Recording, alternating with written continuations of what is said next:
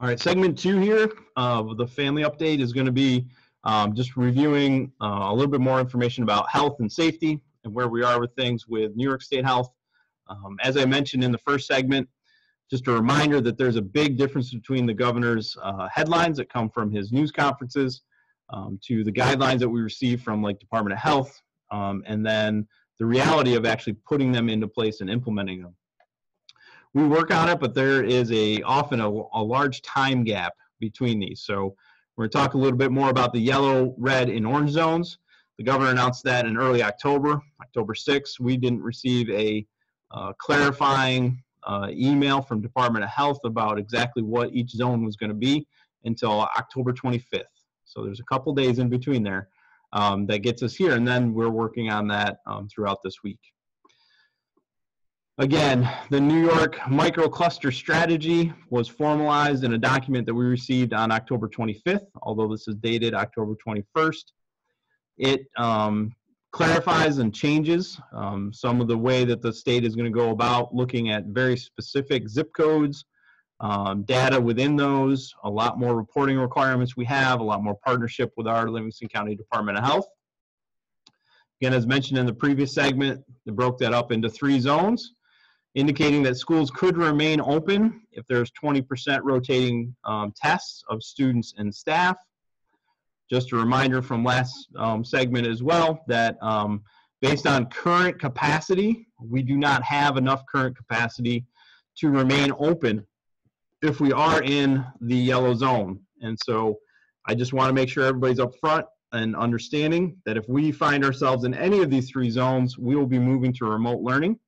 Um, this may change and we'll keep you updated on it, but right now, based on the lack of testing availability, for just Livonia Central School District alone, that would be 306, approximately 360 tests um, each week.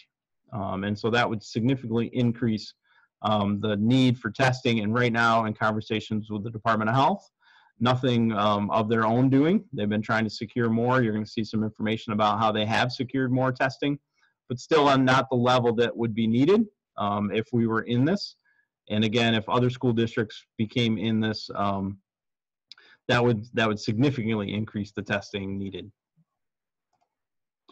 Looking a little bit more closer, how do you get into one of these zones? And so this is what was released in that document that we received an email on the 25th about. Um, they would be looking at the geographic area as a seven-day rolling average with a positivity above 3.5%.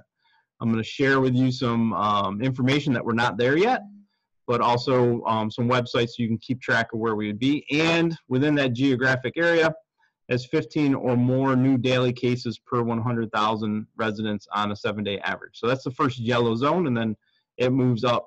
Um, it moves up from there. So again, here's the website that you can get right from New York State. Um, looking last week, we had a positive rate of 3.4 and only six um, new tested during that day. So those, those, are how you toggle between a couple of those. Um, as of today, they've added a new category that you can find there that is the seven day average they incorporate in there. So you can see our seven day average is 2.5%. So that's below um, entering into a yellow zone, but it is certainly approaching it because if you had looked at this in prior weeks, we were at one or below. Um, so we're creeping up. We're heading in a direction that may have us become a yellow zone at some point in time in the future. Um, I'm just sharing enough information with you so you can start preparing in case we were. Again, if, if we were, we were going to need to make sure that we move to a remote learning situation. And that would mean that any in-person um, learner and family should be prepared for a periodic closure lasting at least a few weeks um, because it will take some time for us to get out. Again, this is how you get out of the zone as it was shared. Um, and so uh, we would need to see in that seven day rolling average. So that means it's going to move slow because it's going to keep the numbers that got us there. And it's going to take at least a week to clear those numbers that got us there. Um, and so it'll take some time. And so I would I would say if we get in one of these zones, I would say two weeks minimum, two weeks approximate um, would be the periodic closure. Um, so please make sure you're using your contingency planning accordingly as we move into November and December um, where certainly across our nation we're seeing uh, cases uh, increase in pretty significant ways. Again, we're using our pre-K to uh, grade 12 New York State Department of Health um, toolkit, which is available. We broke this down for you earlier this month, um, but home should be doing their daily health screening. I think that's what's helped us. You'll see then in, in the data that we have, we have not yet, knock on wood, and certainly um, keep good vibes moving in that way. Have not had a student um, positive case yet. Um, we've had two staff member cases that we've communicated to the community. But daily health screening for both our students and our staff. If you feel sick, we need you to stay home um, and um, make sure that uh, we monitor that. Again, sorry, again, each day uh, we're asking um, families to, they've att- you've attested. Um, we did our most recent one there in October that you're doing this each day.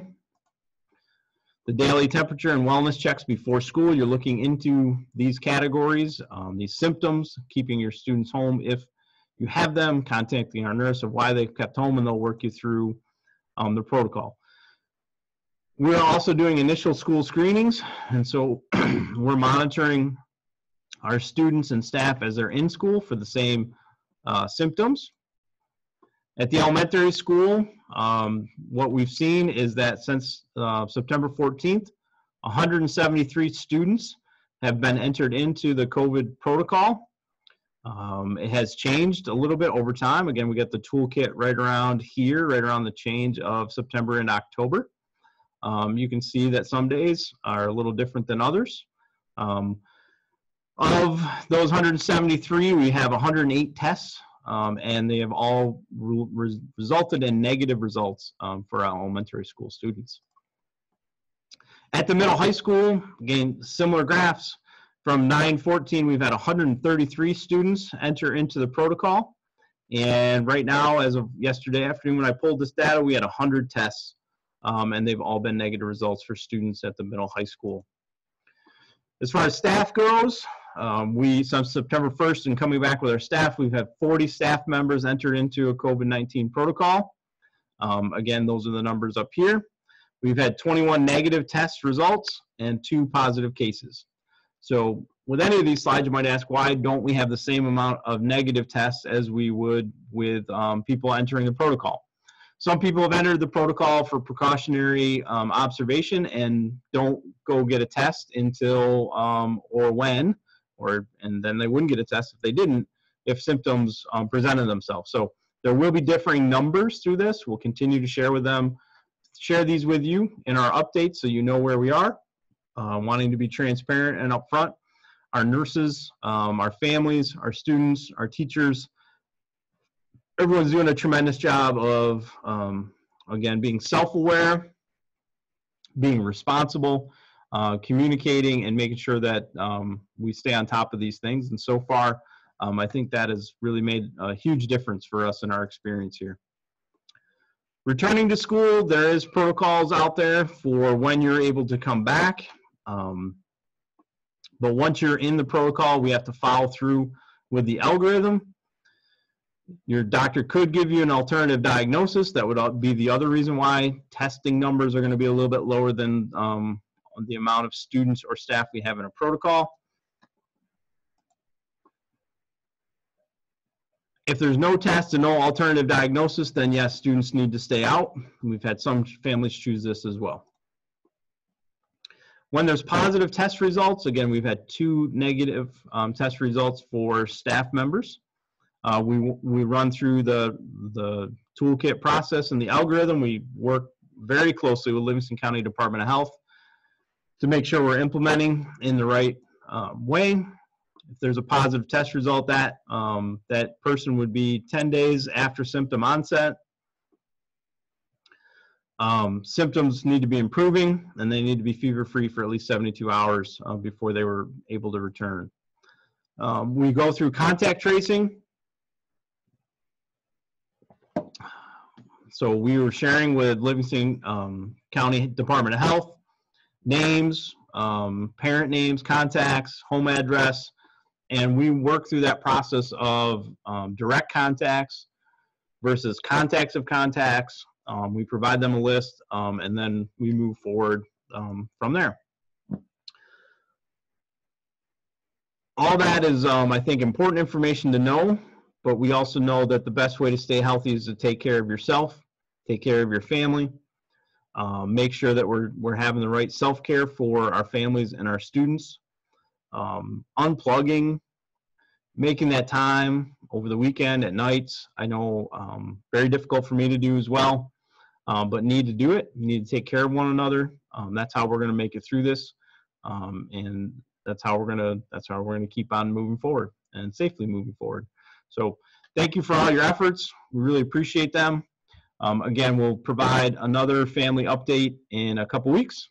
And if we need to share any other information in between there, we certainly will. So again, thank you very much. Um, take care of yourself, stay healthy, and be well.